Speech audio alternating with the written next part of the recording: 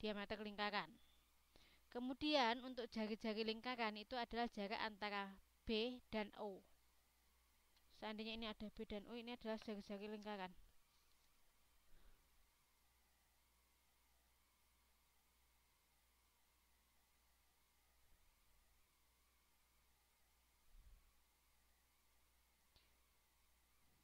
sama aja mbak disjungsi kan tinggal kalau seandainya disjungsi kan tinggal kalau ada benar kalau e, konjungsi. Tadi kan kalau ada benar dan benar dia bernilai benar semuanya.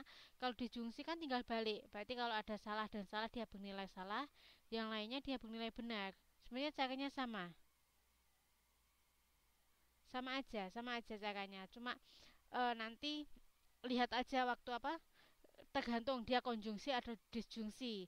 Kalau seandainya konjungsi nyelesainya kan kalau ada benar dan benar dia benar. Yang lainnya salah. Tapi, tapi kalau ada disjungsi berarti dia salah dan salah dia bernilai salah yang lainnya dia akan bernilai benar. Cuma gitu aja cuma kebalikannya. Oke sekarang kita lanjut ke yang trigonometri. Nanti kalau seandainya ada soal nggak paham nggak apa-apa ditanyain aja. Kalau lagi nyoba-nyoba gitu nggak paham ditanyain. Kemudian untuk trigonometri di sini kita lanjut yang trigonometri. Jarak antara C dan A itu kita sebut sebagai diameter lingkaran. Sedangkan untuk jarak dari O ke B di sini adalah jari-jari lingkaran. Kemudian kita tahu bahwa kalau sudut dari A O C itu adalah sudut 180 karena dia setengah lingkaran. Berarti sudut AOC itu adalah 180 derajat ya kan? Karena dia adalah bernilai setengah lingkaran. Rumus sendiri untuk uh, rumus lingkaran tahu nggak? Rumus lingkaran itu apa? Keliling lingkaran itu. keliling lingkaran itu adalah rumusnya 2 pi Itu adalah rumus untuk lingkaran. Ya kan? Sedangkan untuk rumus dari setengah lingkaran berarti dia bingung nggak ya ini tulisannya?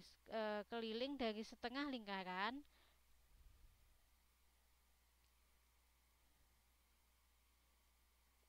E, sama dengan halaman 81 mbak. Setengah dikali dengan 2 PR 2, 2 PR nya dari mana? Dari nilai keliling dari lingkaran berarti 2 PR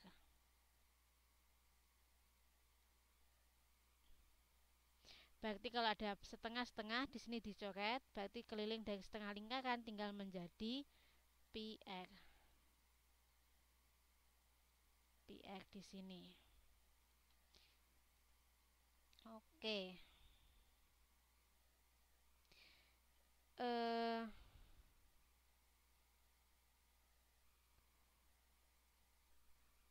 sudah, kemudian dilanjut ya. Kalau nggak paham nanti tanya. Sekarang kita ada sudut AOC dibandingkan dengan sudut A O B mungkin ini sebenarnya nggak begitu begitu hanya tahu aja. Eh sorry A O B di sini. Halaman 81 ya kalau yang bisa nyemak buku. Di sini ada sudut AOC kemudian dibandingkan dengan sudut AOB di mana itu sudut AOC itu sama dengan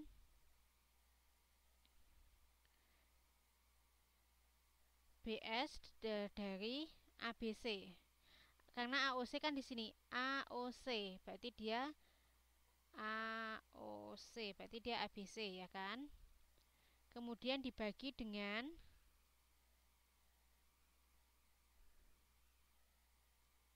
BS itu panjang busuk Mbak ya, panjang busuk dari AB. Oke, sorry kalau tulisannya agak jelek. Kemudian di sini AOC AOC itu kan dia sama dengan sudut 180 AOC kan dia 180 ya kan? Kemudian untuk AOB dia di sini disebutkan satu radian. Ya kan? Kemudian akan sama dengan sudut ABC sudut ABC tadi adalah PX di sini. PX sedangkan untuk AB sendiri dia adalah R jarak, e, jarak dari jari-jari lingkaran. Kemudian kita bisa R-nya kita coret, kemudian pi radian dikalikan silang akan sama dengan 180.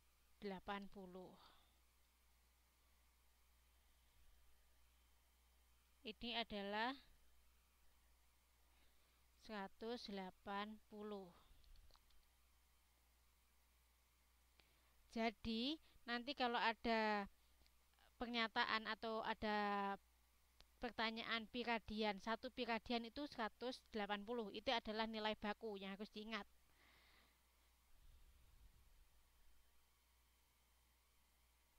Oke, sampai di sini paham? Mau ditulis?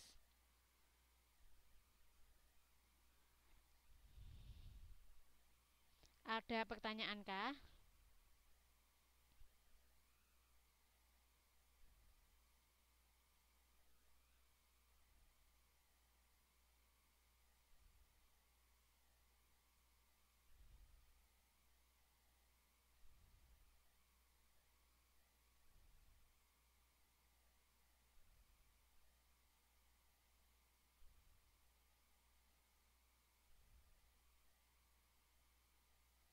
Sampai di sini paham? Ada pertanyaan?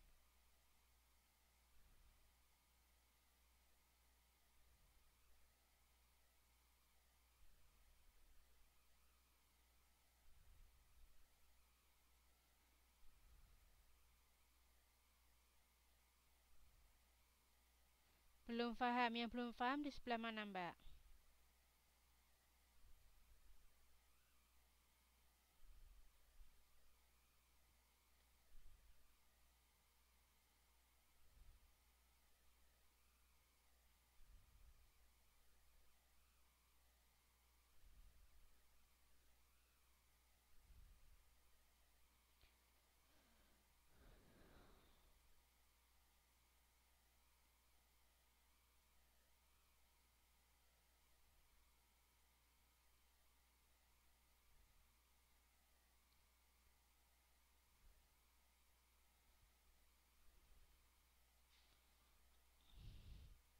Oke, saya ulang ya. Seandainya ini ada lingkaran. Ini lingkaran. Di sini ada garis tengah, yaitu ada titik A dan C. A dan C di sini. Panjang AC di sini adalah disebut diameter lingkaran.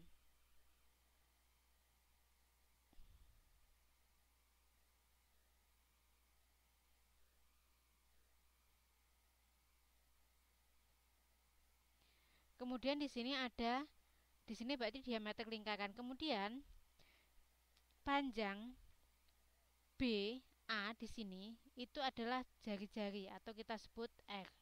Begitu juga dengan panjang O ke B di sini juga kita sebut jari-jari lingkaran atau R. Kemudian sudut antara A O B ini satu radian kita sebut satu radian. Kemudian kita tahu bahwa sudut dari lingkaran adalah 360 derajat. Sehingga untuk sudut dari setengah lingkaran berarti adalah 360 dibagi 2, berarti 180 derajat, ya kan? Kemudian jika kita dari lingkaran ini ada sudut A, O, C berarti kan dia akan bernilai setengah lingkaran berarti sudutnya akan bernilai 180 ya kan?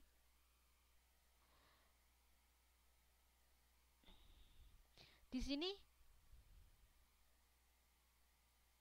kemudian kita tahu kita juga pernah belajar bahwa keliling untuk lingkaran itu adalah 2PR itu adalah rumus baku panjang eh, eh, apa keliling dari lingkaran.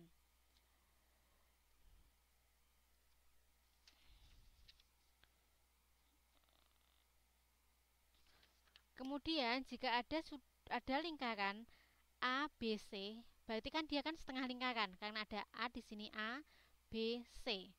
Berarti dia, dia dia setengah lingkaran. Berarti keliling setengah lingkaran adalah setengah dikali dengan keliling lingkaran. Keliling lingkarannya tadi adalah 2 r. Berarti setengah kali 2 r. Di sini ada setengah ada 2 berarti dicoret. Nilainya keliling setengah lingkarannya tinggal pi r. Sampai di sini paham?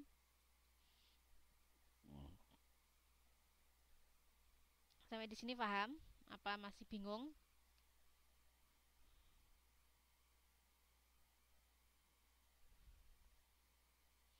Oke.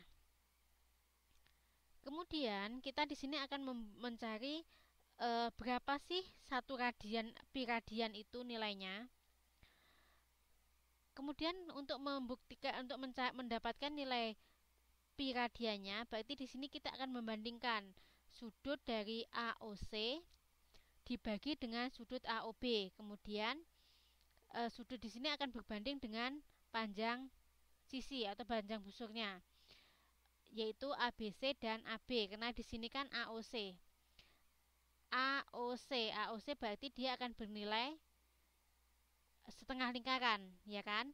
Kalau ada sudut AOB berarti dia akan bernilai R di sini berarti kalau di sini ada sudut AOC dibanding sudut AOB berarti akan dengan pandai panjang busuknya ABC dan panjang dari AB tadi kan kita sudah dapatkan kalau seandainya e, keliling dari lingkaran tadi ABC-nya adalah PR sedangkan untuk sudutnya adalah 180 berarti di sini kita tulis untuk sudut AOC yaitu 180 sedangkan sudut untuk AOB di sini kita misalkan dia adalah satu radian atau satu R berarti kita tulis satu radian sedangkan untuk panjangnya tadi adalah untuk sudut AOC adalah PR Sedangkan untuk sudut AB yaitu R.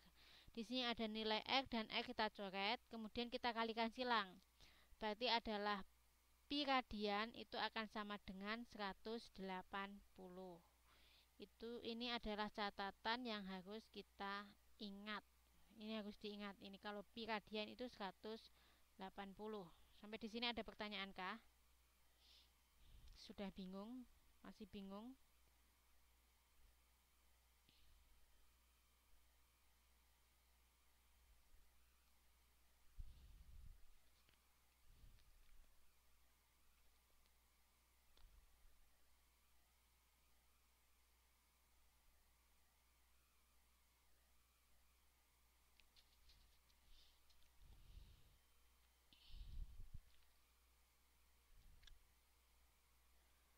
Oke, sekarang tak naikin dulu ya.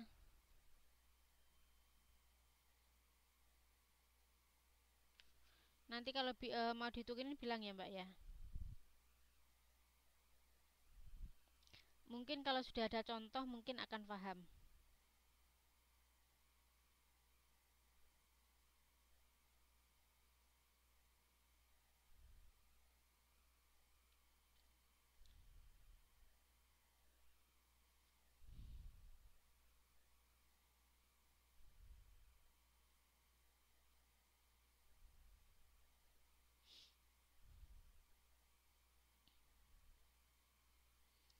Tarik ke bawah sudah sampai sini.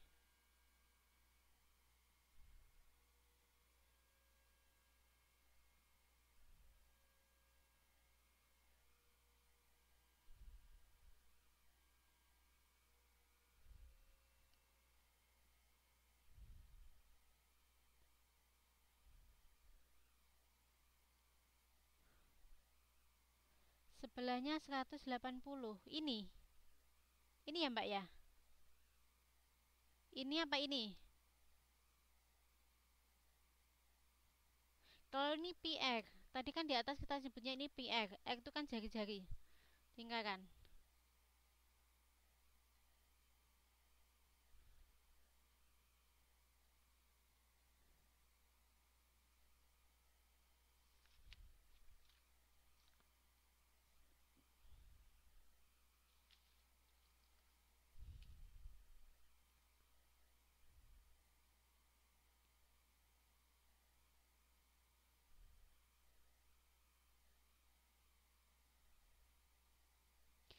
pi pi bukan hi pi mbak. Pi pi bukan hi pi itu 3,14 itu loh. 22 per 7 itu loh. 22 per 7 atau biasanya kalau dalam bentuk koma 3,14 itu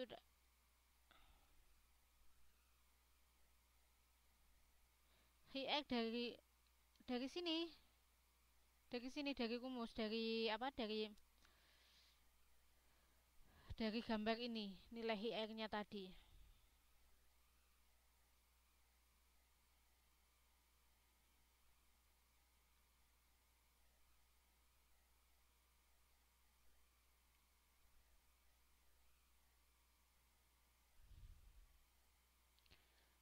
Kalau sudah, bilang ya, kita lanjut nanti kelasnya.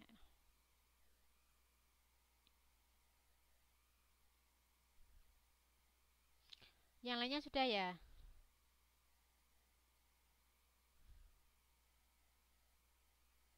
Oke. Sudah semuanya? Sekarang kita lanjut untuk yang contoh soal. Contoh di soal yang halaman 81, di situ kan kita disuruh mengubah ubah ke dalam radius untuk sudut 120. Sudut 120 kita disuruh e, mengubah dalam bentuk radian. Jadi kalau seandainya kita ada nilai 120 kita suruh mengubah ke dalam bentuk radian, e, berarti kan tadi kita temu ketemu bahwa satu radian itu 180 ya kan? e, kalau ada satu radian 180 berarti kita hanya tinggal membagi sudut ini dengan 180 dikali dengan pi. Itu adalah nilainya. Berarti kalau anda 180 dibagi eh, 120 dibagi 80 berarti di sini kita hanya tinggal mengecilkan mengecilkan nilainya. E, kita bagi dengan 60 berarti kalau seandainya 120 dibagi 60 berarti dia akan bernilai 2 sedangkan untuk eh, masing-masing eh, dibagi 60 masing-masing dibagi 60 berarti kalau ini ada 120 dibagi 60 dia akan bernilai 2 Kemudian kalau ada 180 dibagi dengan 60 dia maka dia akan bernilai 3. Nilai P-nya tetap. Berarti e, kalau sudut 120 itu akan sama dengan 2 per 3 Pi. Nilainya ini.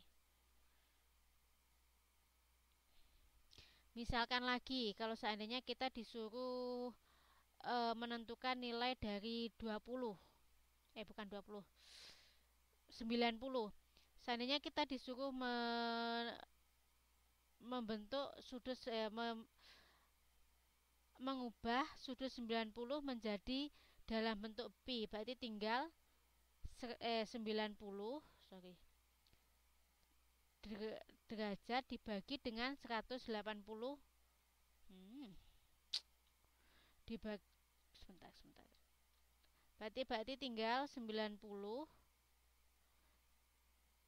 derajat dibagi dengan 180 derajat dikali dengan pi. Berarti kalau di sini yang atas kita bagi dengan 90, yang bawah juga kita bagi dengan 90. Berarti 90 dibagi 90 1 kemudian 180 dibagi 90 berarti dia akan bernilai 2. Berarti nilainya adalah setengah pi. Mana gampang kan?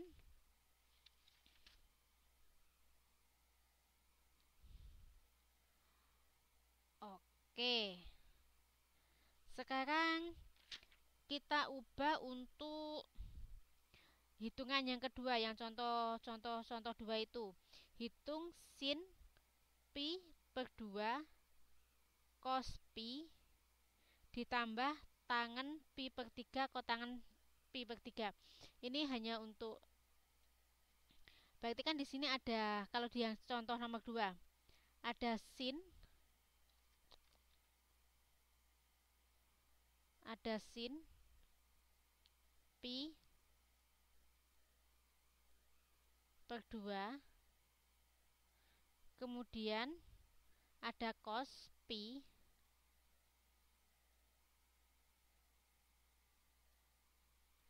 kemudian ditambah tangan pi per 3 kemudian dikali lagi dengan kotangan pi per 3 berarti semua nilai pi nya ini kita ganti dengan 180 berarti di sini akan sama dengan sin 180 dibagi 2 ya kan? Dikali dengan kotangan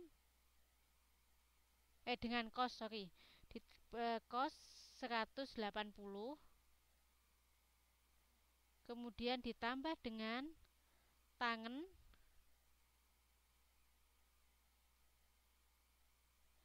seratus delapan puluh dibagi tiga. Dan dibagi, dikali dengan kotangan. 180 dibagi 3 karena nilai P nya adalah 180 berarti sin 180 dibagi 2 berapa?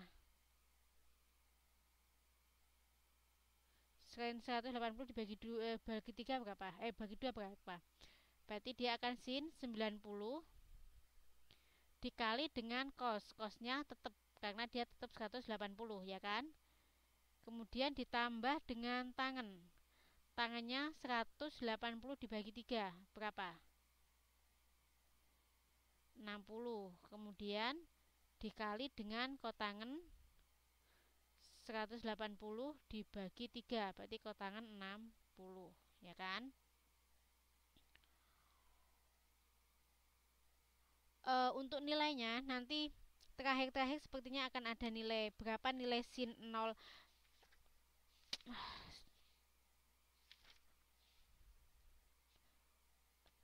uh, di belakang. Di sini akan saya kasih tahu langsung berarti kalau sin 90 itu sama dengan 1. Kemudian cos 180 itu adalah negatif 1. Nanti di belakang kita akan belajar tentang ini. Kemudian untuk tangan 60 yaitu akar 3 kotangan sepertiga akar tiga berarti dikali sepertiga akar tiga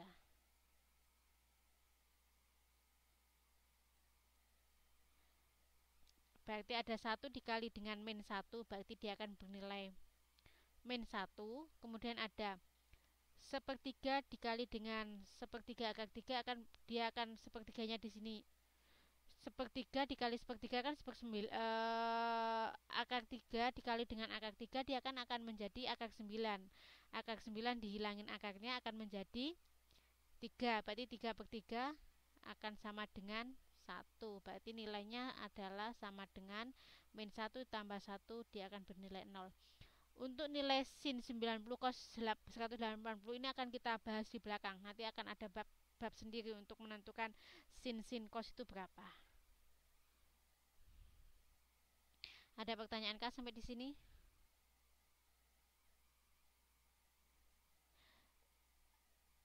Uh, itu rumus, itu ke ketetapan, tapi nanti di bab selanjutnya kita akan belajar itu. Untuk sekarang ditulis aja kalau kos kos kos kos kos kos eh, sin 90 itu satu. Kalau kos 180 itu negatif satu.